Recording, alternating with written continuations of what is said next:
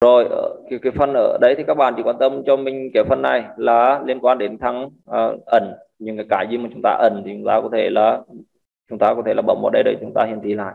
À, như như cái thằng này này ở à, đây đây là cái điểm không không nó nó đang bị ẩn đó thì mình có thể là à, à mình có thể là kiểu như như thế này. Ở trong một cái dự án thì mình sẽ phải quy định nó là một cái tòa tòa tòa, tòa đồ cho dự án đúng không? Quy định chung như một tòa đồ cho dự án thì làm sao mà để, để chúng ta có thể uh, lấy cái thằng ở đây cái cái, cái tọa độ không không trong Revit này ra. Thì chúng ta kích vào này ở đây này. Chúng ta kích vào cái thằng thằng, thằng cái bóng đen này. Ta kích nó lên. Này nó sáng vàng đúng không thì nó hiển thị cái thằng à cái thằng này là code ờ, không không không không. Đây tọa độ này. Đây tọa độ của nó này. Không không không. Thì chúng ta bấm vào này ăn ăn hai catalog đúng không? Bấm vào đây. Được chưa? Bấm vào đây thì nó nó hiện ra rồi và mình tắt đi. Thì mặc định ở đây là sẽ có một à, có một cái tọa độ này. Cái tọa độ này là tọa độ của trong Revit.